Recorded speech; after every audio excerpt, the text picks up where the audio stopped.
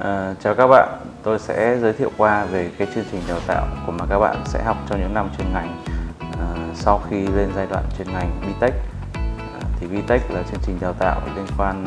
có những cái tiêu chuẩn quốc tế và đáp ứng được cái thị trường công việc cũng như lao động của Việt Nam.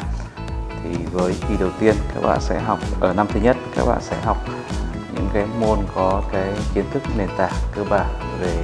tạo hình và thiết kế đồ họa môn thứ nhất là môn uh, basic ờ, drawing and sketching. Thì với môn học này nó sẽ mang tới cho các bạn những cái kỹ năng cơ bản trong việc quan sát hay là tạo hình bằng những công cụ mà chính đôi tay của mình. Và quan trọng nhất là vượt qua cái nỗi sợ mà tạo hình bằng không biết ờ, bằng tay. Cái khái niệm không biết vẽ nó sẽ được đặt sang một bên. Môn design tool 2D môn học này các bạn sẽ được học về cách thức sử dụng các công cụ phần mềm máy tính với những phần mềm chuyên dụng dành cho thiết kế đồ họa à, với mục tiêu là để minh họa ví dụ như là illustration và để tác động sử tạo ra hình ảnh thật đẹp với Photoshop và dàn trang layout với phần mềm InDesign. Và tiếp theo là hai môn học có tính chuyên môn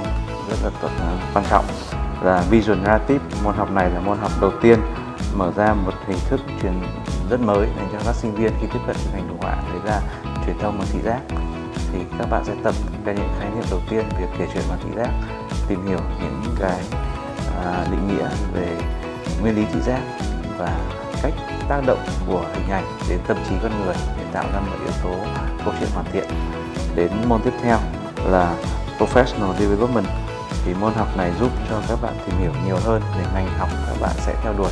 có những chuyên ngành hẹp nào cũng như cần những cái yêu cầu nào để hỗ trợ các bạn phát triển trong cái chuyên ngành các bạn đang theo học. Môn học này cũng cho các bạn một khái niệm mới về việc design thinking cách thức tư duy của thiết kế để từ đó tạo ra những cái sản phẩm sáng tạo. Cảm ơn các bạn. Xin chào tất cả các bạn, mình là Linh Chi, mình đến từ chuyên ngành Graphic Design ở tại kỳ 5 Thì uh, mình sau đây sẽ chia sẻ một số cái trải nghiệm của mình uh, sau khi mà học các môn ở chuyên ngành uh, của kỳ BTech thì uh, đầu tiên mình đến với kỳ thứ nhất thì uh, sau khi mà học kỳ uh, thứ nhất thì các bạn sẽ học được uh, uh, 3 điểm quan trọng. Đấy là thứ nhất là mình sẽ học được uh, cái những cái nguyên lý cơ bản và quan trọng trong uh, ngành graphic design. Thứ hai là các bạn sẽ học được uh, kỹ năng uh, sketch uh, bố cục để uh, các bạn có thể uh, uh, giải quyết những cái dự án quan trọng bằng uh, bút chì và giấy. Uh, thứ ba đấy chính là uh, các bạn uh, sẽ học được những cái tool quan trọng điển hình như là Photoshop, uh, Illustrator hay là InDesign.